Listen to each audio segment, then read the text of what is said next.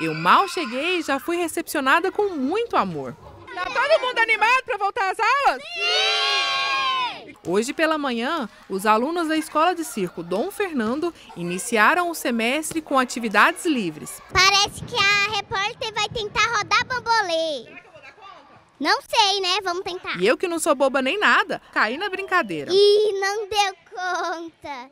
A escola de circo funciona durante a semana sempre no contraturno das aulas, dando alimentação, reforço escolar e incentivando as atividades artísticas. E, pois é, aproveitar o tempo livre também pode ser uma brincadeira para os adultos. Mas hoje o meu instrutor vai ser o Luca, ele tem 7 anos e ele me disse uma coisa bem séria. Eu vou ajudar a Jane se ela cair, eu vou levantar ela. Pode confiar? Pode confiar. Então vamos lá.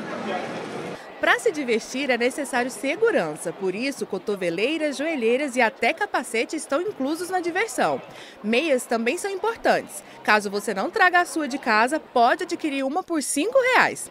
Enquanto eu continuo tentando mostrar minhas habilidades de patinadora, deixo um recado importante dessas duas amigas. Vale muito a pena vir. A única coisa que não é tão legal é que o tempo passa voando, a gente nem percebe. Eu também achei muito legal e valeu a pena vocês virem aqui e divertir aqui. Só é um ruim é, tombo, né? É. Mas valeu muito a pena. Eu acho que agora dois tombos já tá legal, né?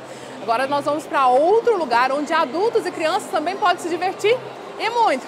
Bora comigo? E olha onde eu vim parar, nesse brinquedo enorme, são 150 metros de muita diversão. Uh!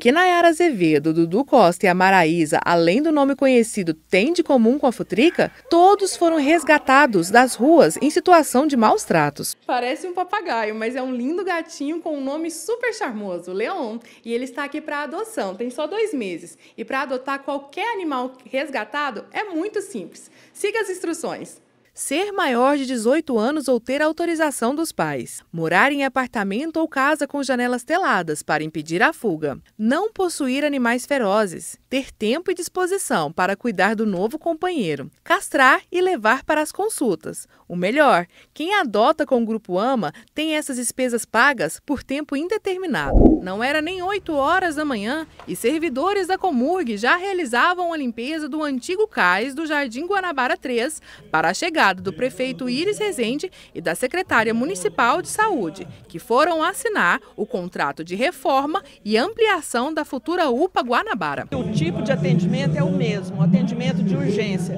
A obra será executada com recursos do Tesouro Municipal, ao valor de 2,1 milhões. O prazo para o término da obra é de seis meses. A área construída terá um acréscimo de 600 metros quadrados. Goiânia possui três UPAs, Itaipu e Noroeste, já reconhecidas pelo Ministério da Saúde, e a UPA Novo Mundo, que está em processo de certificação.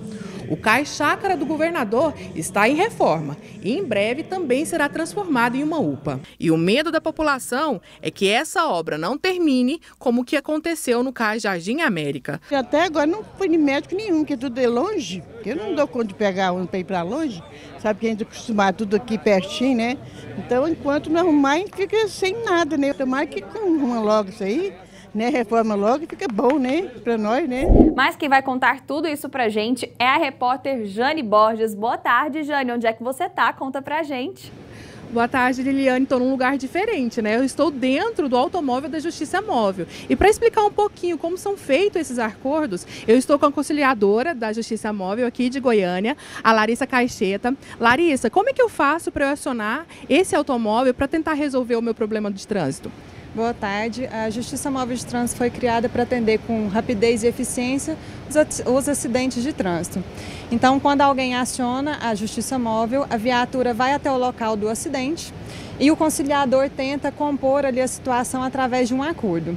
Se os condutores estiverem dispostos a fazer essa conciliação, o conciliador já redige o documento na hora, eles saem do, do local do atendimento com uma via em mãos desse acordo. E a via que fica com o conciliador é homologada por um juiz se transformando numa sentença irrecorrível. Caso os condutores não consigam chegar nesse consenso, serão colhidas provas para uma futura instrução processual.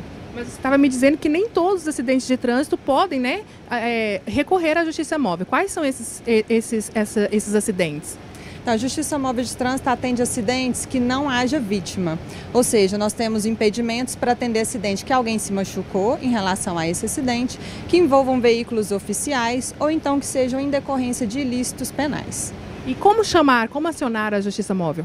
É, nós temos dois telefones para acionamento, é o 3261 9077 e o 3018 6119.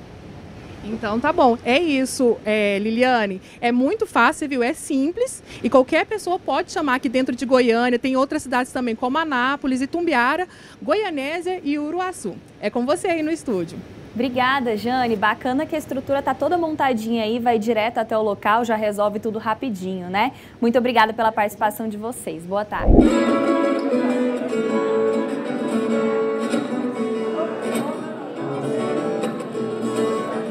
Envolvido com sons e apaixonado por música, Jaime Além iniciou a carreira ainda adolescente. O concerto será dividido em dois atos. No primeiro, além de composições autorais, serão executadas obras de Antônio Carlos Jobim, Vinícius de Moraes e Luiz Gonzaga. Já no segundo, a suíte Cabloquinha explora movimentos do universo caipira. E os goianienses poderão curtir uma homenagem especial à Cora Coralina, que a Nair fez questão de dar uma palhinha. Asas do tempo, o canto me leva a ti, Coralina. Atravessando o cerrado até o coração, Coralina. E aí eu não vou cantar ela toda para dar spoiler. A apresentação tem entrada gratuita e será realizada apenas no dia 1 de março. Esperamos por vocês aqui no domingo às 11 horas da manhã no Teatro Goiânia para vocês conhecerem a suíte Caboclinha. O fim de semana foi especial para os católicos. Com missa realizada na paróquia Santo Antônio, 13 religiosos se formaram no curso de Teologia Pastoral, curso de extensão oferecido pela PUC Goiás. Para os formandos, essa data é mais que especial. No catolicismo, iniciamos o tempo de advento, a espera do nascimento de Jesus, um tempo novo de amor esperança e paz. Frei Ayrton Guedes fez questão de citar a perseverança dos formandos e a alegria em ver que a comunidade anseia por aprender um pouco mais sobre a religião. Embora não seja um curso superior, mas é um curso de extensão e tem, claro, com certeza, toda uma preparação acadêmica, um aprofundamento, uma reflexão. Isso leva a amar cada vez mais a igreja, a doutrina da igreja, e a compreender mais o significado da fé na vivência da fé na vida.